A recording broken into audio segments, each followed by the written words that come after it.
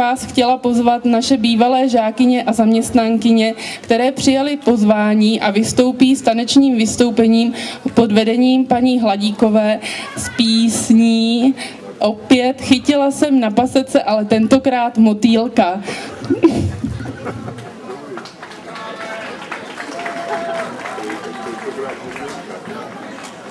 Global English,